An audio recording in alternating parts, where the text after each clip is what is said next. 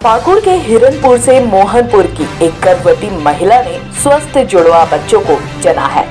गरीब परिजनों ने पाकुड़ की भगवान स्वरूप अस्पताल के हर वो दरवाजे खटखटाए, लेकिन उन्हें कहीं भी उम्मीद की किरण नज़र नहीं आई।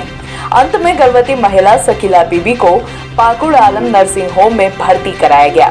महिला चिकित्सक नाजिया परवीन ने पहल महिला की समय जाँच करते हुए सुरक्षित प्रसव करवाया और जुड़वा बच्ची समेत माँ को सुरक्षित बचाया।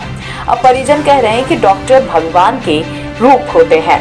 आखिर में डॉक्टर नाजिया ने वो कर दिखाया।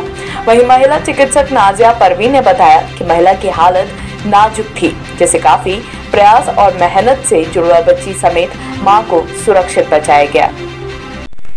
एक पेशेंट आई थी, हीरमपुर के मोहनपुर गाँव से। उनकी बहुत ही क्रिटिकल कंडीशन था उसका। बेचारी पेट से पूरा पेट के दर्द से पूरा परेशान थी और उसको ब्लीडिंग भी हो रहा था। सिक्स मंथ का ट्विन प्रेगनेंसी था जिससे कि हम लोग हम वो लोग बहुत जगह गए पाकुड़ में लेकिन उनको कहीं ठीक नहीं लगा और यहाँ विस, अपने विश्वास के तौर पे यहाँ आए।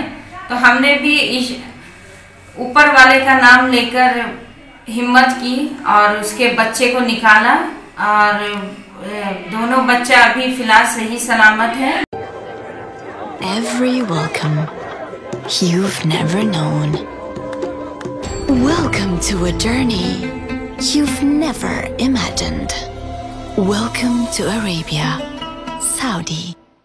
दो गड्ढों वाले शौचालय के बारे में सुना है? है? नहीं सुना।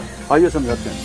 देखिए दो गड्ढा बनाइए। पहले वाला जब मल से भर जाएगा ना तो ये चालू हो जाएगा। और साल भर के अंदर इसके अंदर जो मल है ये खाद बन जाएगा इसे खाली कर दीजिए। इसी तरह शौचालय जो है वो आजीवन चलता रहे न बीमारी फैलेगी न बदबू।